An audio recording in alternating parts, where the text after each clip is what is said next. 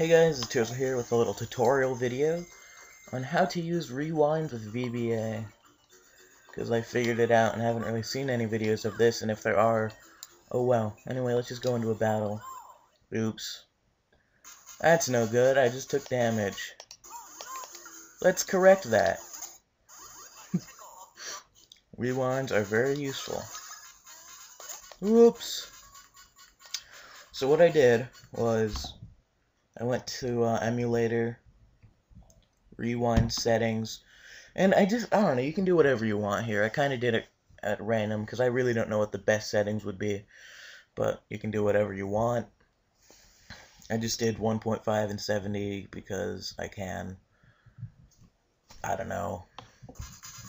Um, tools, rewind, control plus B is the default.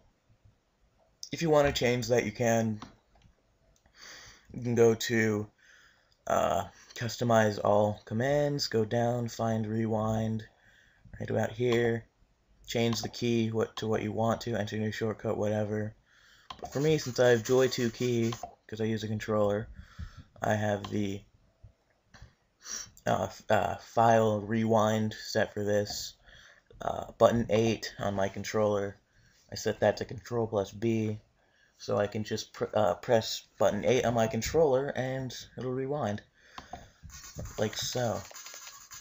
Doesn't want to rewind past that point, so. Oh well. So yeah. I just thought I'd show you this because it's, I don't know, it's cool. I didn't know you could rewind. Because I should have figured it out considering there's a big old button that says rewind setting there, but yeah. Anyway, this is kind of a spoiler to my next Let's Play. Oopsies. Whatever. I'll, I'll uh, see you guys later.